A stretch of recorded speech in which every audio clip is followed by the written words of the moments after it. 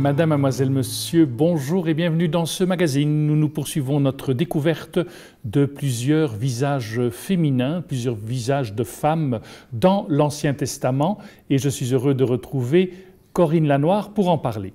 Corinne Lanoir, bonjour. Bonjour. Je rappelle, vous êtes professeur d'Ancien Testament et d'Hébreu à l'Institut protestant de théologie, faculté de Paris. Vous êtes euh, auteur de nombreux ouvrages, Femme fatale, euh, fille rebelle aux éditions Labor et Fidèle, Le salut vient des femmes, livre écrit sous la direction d'André Vénin aux éditions jésuites. Vous avez coécrit récemment avec euh, Françoise Smith-Florentin le livre de Jonas, toujours aux éditions Laborifides, et vous êtes l'auteur du cahier évangile consacré à Jacob. Vous avez parlé dans une émission précédente d'une première Tamar et vous nous avez fait un petit teasing en nous disant qu'il y en avait une autre. Et voilà. Alors j'ai envie de connaître moi la deuxième Tamar si vous voulez bien. Alors, la deuxième Tamar, elle nous ramène dans le livre de la Genèse, en Genèse 38. Donc, on n'est plus du tout dans l'histoire de l'accession à, la succession de David. Et pourtant, on revient dans une histoire qui concerne Judas. Donc, on est toujours dans euh, le père fondateur, disons, euh, qui, va euh, donner lieu à cette généalogie davidique. Alors, et en plus, on est dans l'histoire de Joseph. Alors là, au début, c'est un peu compliqué parce qu'on nous raconte le début de l'histoire de Joseph vendu par ses frères en Genèse 37.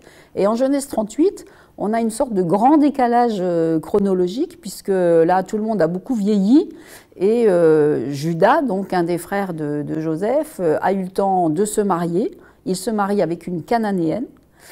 Et il a trois fils qui eux-mêmes deviennent grands et peuvent se marier. Donc on a avancé dans le temps.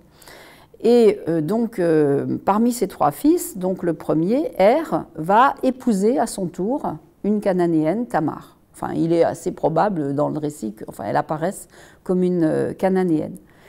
Et Er va mourir assez rapidement sans laisser de descendance. Et donc Tamar, là, va obéir à ce qu'on appelle la loi du Lévira, où elle doit épouser le frère de son mari défunt euh, pour que ce frère en fait donne une descendance qui sera reconnue, en tout cas euh, pour le premier des, enfants, comme euh, le, fils du premier mari. Et ce deuxième frère qui s'appelle Onan ne veut pas de ça.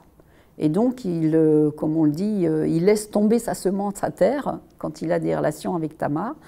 Et Onan meurt aussi. Il ce qui déplaît à Dieu, je pense. Ce qui déplaît à Dieu, mais voilà. Et euh, il reste un troisième frère, plus jeune. Et Judas, évidemment, se dit, euh, ben, Tamar, euh, on a déjà tué deux, hein, on ne va pas insister. Et donc il dit à Tamar, repars chez, chez, ton père et attends, je te ferai signe quand ça sera le moment. Tamar repart en sachant très bien qu'il n'y aura jamais de signe. Donc en fait, pour une femme doublement veuve et euh, doublement euh, stérile, en quelque sorte, euh, il n'y a aucun espoir possible. rentrer chez, dans la maison de son père, ça veut dire pratiquement être enterrée vivante. elle n'a plus aucun futur envisageable socialement, familialement, etc. Mais elle ne va pas s'avouer vaincue. Et à un moment, elle apprend que Judas, son beau-père, donc, euh, qui entre-temps est devenu veuf, euh, va à la tonte des moutons, pas très loin de euh, où, elle, où elle habite.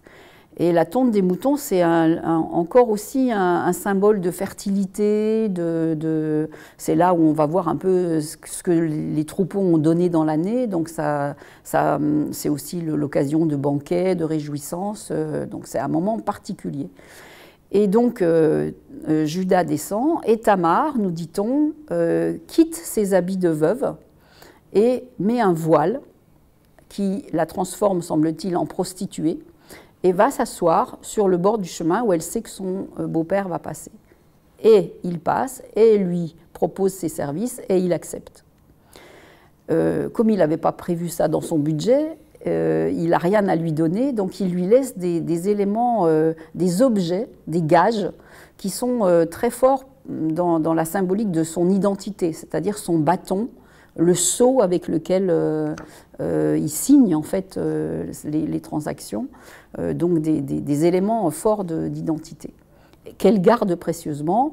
Alors après, il essaye de lui faire envoyer un chevreau, mais évidemment, il ne la trouve plus parce qu'elle est partie entre-temps, et elle a de nouveau endossé ses habits de veuve. Trois mois plus tard, il apparaît que Tamar est enceinte.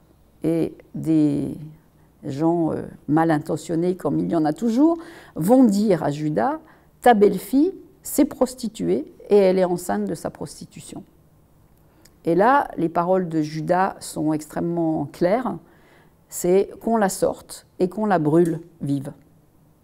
Alors Tamar euh, fait envoyer les, objets qu'elle a gardés en lui disant ben voilà, le père de mon enfant euh, est le propriétaire de ces objets, vois un peu si tu peux euh, les reconnaître. Et alors Judas, évidemment, les reconnaît et dit elle a été plus juste que moi. Et donc elle ne sera pas brûlée vive, euh, ils n'auront plus de relation, mais euh, Tamar va accoucher non pas d'un enfant, mais de deux, de deux jumeaux, mais dont un, Pérez, va être un ancêtre du roi David. Donc, euh, et Pérez, ça veut dire brèche, c'est celui qui fait brèche.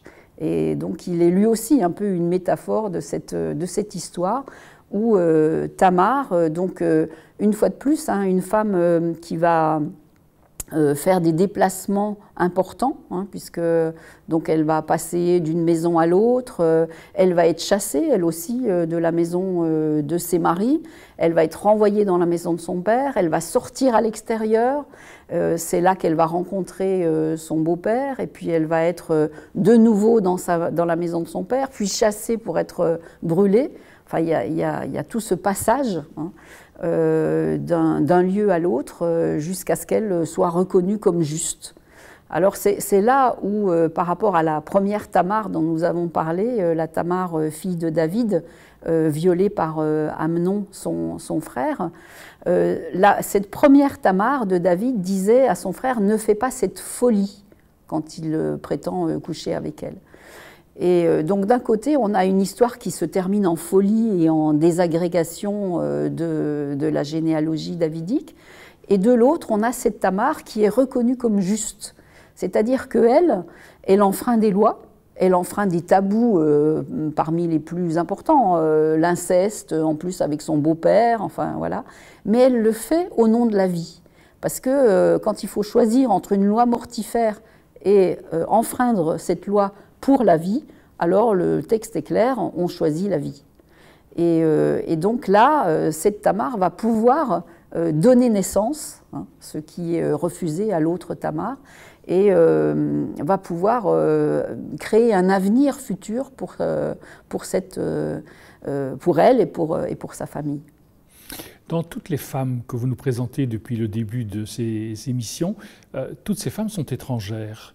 Est-ce qu'il y, a une raison alors, là aussi, ça fait partie, je pense, de, euh, cet aspect de, critique, de dénonciation hein, que, font ces textes, parce que la plupart de ces textes sont écrits tardivement, à un moment, donc euh, après euh, le fait que le, peuple d'Israël soit parti, enfin une partie est partie en exil, elle est revenue, et à ce moment-là, il y a des fortes tensions, donc dans cette époque qu'on appelle l'époque perse, hein, ou plus tard encore hellénistique, il y a des fortes tensions euh, entre une partie du peuple qui veut, euh, qui a une sorte de réaction euh, d'entre-soi hein, et qui dit pour, pour, préserver notre identité, il faut qu'on se sépare de tous les autres et il faut qu'on puisse vivre à l'intérieur ce qui nous est demandé.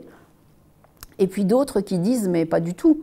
notre identité, elle ne va, nous allons pouvoir la construire que par la rencontre avec les autres que par un certain universalisme et par euh, ben, accepter que une partie de nous-mêmes est étrangère. Parce que vous voyez aussi que toutes ces femmes sont des femmes qui vont être euh, euh, des grands-mères, arrière-grand-mères de David, et on peut aller jusqu'à Jésus, hein, du coup. Et donc l'identité même du peuple d'Israël est composée d'une partie d'étrangeté, de, de, diversité, de multiplicité. Alors ça va même être parfois contesté, puisque cette Tamar cananéenne, dans certaines traditions juives plus tardives, comme dans le livre des Jubilés par exemple, on va essayer de dire que, bah non, elle n'est pas cananéenne, elle est, mésopotamienne ou elle est euh, euh, euh, araméenne. Enfin, on va essayer de lui trouver une autre euh, généalogie ou une autre euh, euh, origine pour la rapprocher par exemple d'un Jacob justement et, pour éliminer cette possibilité de, de, cananéisation des origines d'Israël. Et pourtant, elles sont bien là et elles sont bien là très présentes avec ces femmes. Ce qui rend à nouveau ces histoires d'une actualité déconcertante. Tout à fait. merci beaucoup Corinne Lanoir. Nous arrivons au terme de cette émission. Il me reste qu'à vous souhaiter une excellente journée. À très bientôt.